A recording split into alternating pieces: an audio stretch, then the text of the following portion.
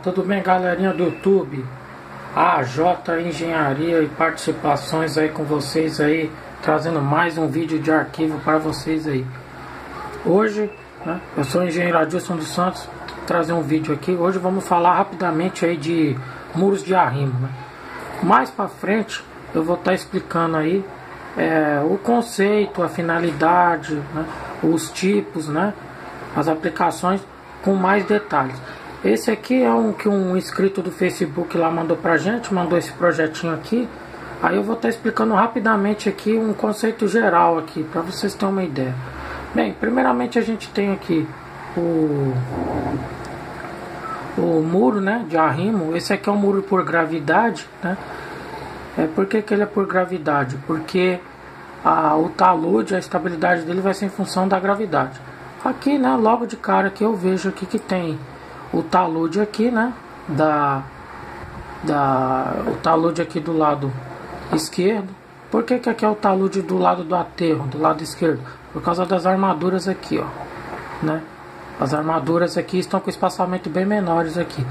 E, consequentemente, aqui a valeta vai ser curta. Por que, que ela vai ser curta? Primeiro eu vou chamar isso aqui de base, né? Essa parte aqui é a base, né? A base do muro de arrimo, o corpo, né? Aqui e o, o a gente chama de dorso também, né? A alma aqui não onde vai. Primeiramente aqui, porque que o, subentende-se aqui que o, os espaçamentos aqui da armadura está sendo do lado esquerdo. Então, consequentemente aqui, como a vala é estreita, porque em função da base aqui, ele também não me deu aqui, né, esse essa distância aqui, essa medida. Então eu estou subentendendo que aqui é o lado do aterro, até devido às armaturas negativas aqui que ele dispôs aqui. O comportamento do aterro aqui vai ter um solo vai ter uma coesão horizontal aqui, quase 90 graus. Né? Então as forças exercidas vão ser aqui. Vai se assemelhar muito a uma laje de balanço. As cargas distribuem uma leve carga aqui por causa da percolação aqui. Mas o grosso da, da, da solicitação vai ser aqui. E sendo aqui, né, ele vai ter um sentido de giro aqui né? Ah, eu esqueci de mencionar aqui, desse lado aqui em perfil a gente tem as armaduras aqui, ó, né? Aqui a disposição das armaduras longitudinais aqui, né? Que ele adotou aqui 5 oitavos, que é equivalente a 16 milímetros. E as transversais 3 oitavos, que é equivalente a 10. Né? Espaçamento de 21 aqui na próxima da crista. Essa parte aqui é a crista também. Nós chamamos de crista. Né? Dificuldade para escrever. Bem, então basicamente a força vai ser exercida aqui. Né? Ele vai exercer um sentido de giro, né? de rotação aqui. E o momento fletor aqui maior vai ser, né? O momento fletor aqui vai ser ao longo de todo o tramo aqui. Só que aqui tem um detalhe, né? As maiores solicitações de atração vai ser aqui, ó, né? Porque se ele está exercendo a força aqui, aqui vai ser o ponto crítico aqui, ó. Então aqui tem que se reforçar a armadura. Inclusive é o que ele fez aqui, ó. Ele adotou, né, dobrou, diminuiu o espaçamento delas aqui, né, para ponto 16, mas mesmo assim as dobras aqui estão erradas. A dobra tinha que ser assim, tem que ser dobra contínua, né? Tem que fazer o caracolzinho e ser folga contínua para se comportar como uma mola. Quando foi efetuada a concretagem aqui também, eu vou dividir isso aqui em três, né? E tem que concretar, tem que ser uma concretagem contínua da base até esse, no mínimo um terço aqui.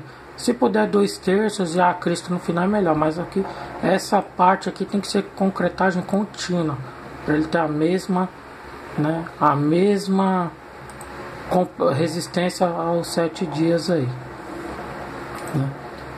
Então, pessoal, é, é, é, agora eu vou explicar rapidinho aqui, né? O conceito dele, considerando que ele está trazendo esse lado aqui, né? Esse que é o lado da Terra. Agora vamos ver como o comportamento dele para a prática mesmo, né? Como se o aterro fosse desse lado aqui, né? O lado de Jussante aqui, que é o certo. Aqui não tem a, a crista, né? A base aqui, né?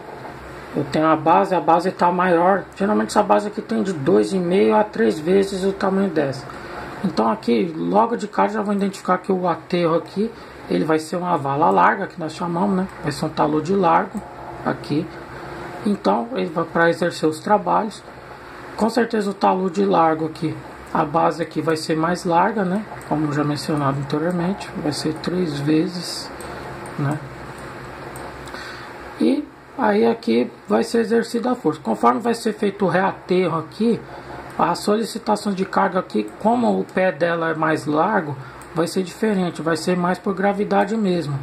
Aí que já está chegando o nome dele, né? Conforme aqui vai ter um conceito aerodinâmico. Quanto maior a pressão aqui para baixo, menor vai ser a pressão na parede aqui, né? Exercendo um impulso ativo, vai ser menor. Consequentemente, ele vai exercer também um, um momento aqui, né? No sentido de rotação. O que, que vai ser? Ele vai exercer uma força de baixo para cima, também empurrando a parede para o talude. Vai ser a estrutura totalmente estabilizada aqui. Esse, essa é a aplicação correta para esse. Bem, espero que vocês tenham gostado aí, né? Até o próximo vídeo aí. Um abraço, galera. Não se esqueça de se inscrever aí no acompanhar a gente no Instagram, no Facebook. Um abraço, fui.